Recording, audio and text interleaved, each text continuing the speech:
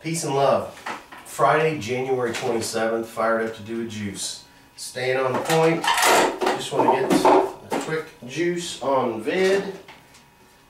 Show everybody again how fast and easy it is to put this stuff together and juice.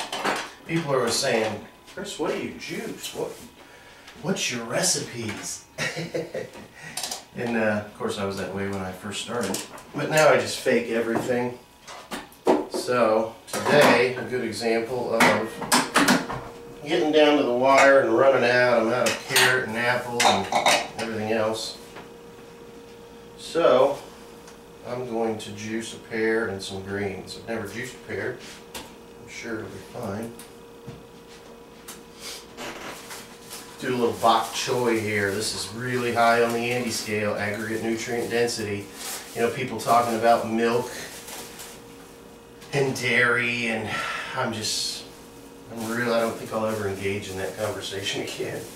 It's just, it's, uh, it's just ludicrous. I mean, for instance, this bok choy on the ANDI scale, the aggregate nutrient density index chart, this is in the 800s. So, let's say 8 ounces or 4 ounces of hamburger, lean, 95% I think it was, is 29 on the ANDI scale. Factor in the, the fat,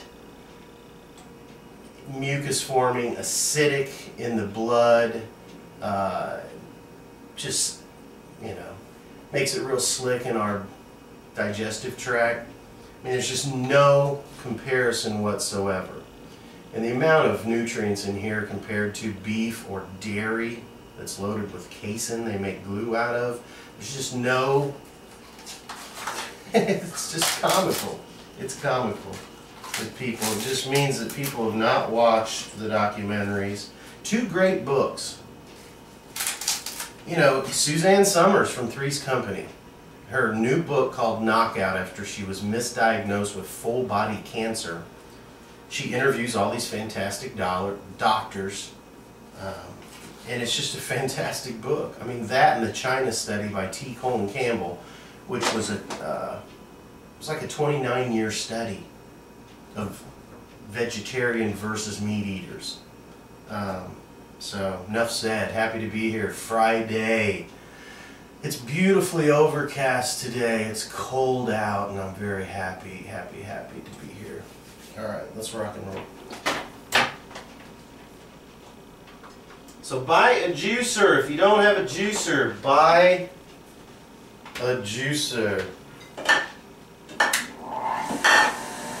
And you too can enjoy bok choy.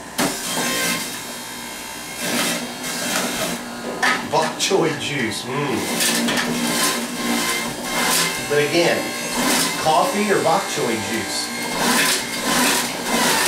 Which would your body prefer? I've been saying to my son since he was four, I don't know, son, give your body what it needs. Drink water. I, always handed him water, handed him water, handed him water. To this day, he rarely drinks pop. And if he opens a pop, he rarely finishes it. He always wants to buy a monster, and I've always said no for years. Finally, he has some money, he buys a monster, or I get him one. And the happy thing is, he never finishes that thing. You know, I tell him what's in it.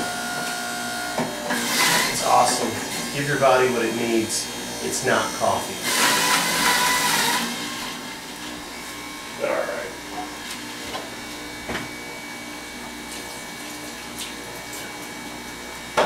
Anyway, that's what I'm trying to program myself with. uh, Alright, let's hope this pear saves the day with its sugar. Go, baby, go. Give me more, give me more.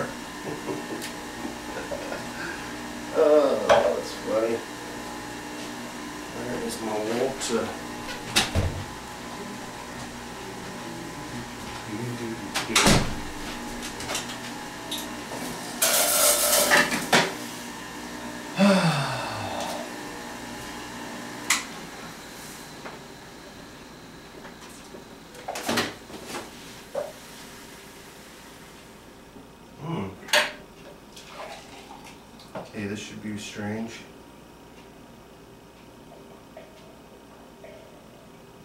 Mmm. Oh, that is not good. but loaded with a lot of nutrients, so let's pound it down.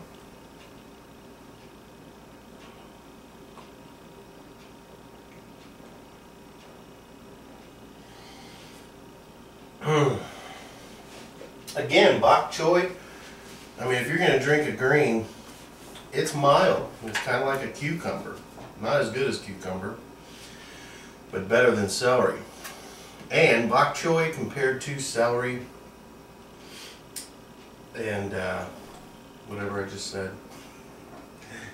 it's nowhere near. Uh, they're nowhere near a bok choy in the ANDI scale. So here we go.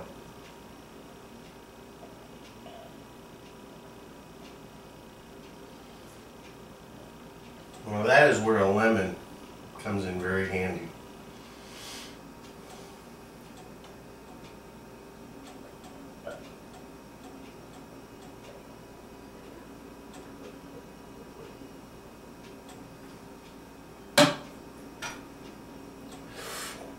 Here's to juicing. Here's to live foods in your blood in five minutes. Have a great weekend. Peace and love.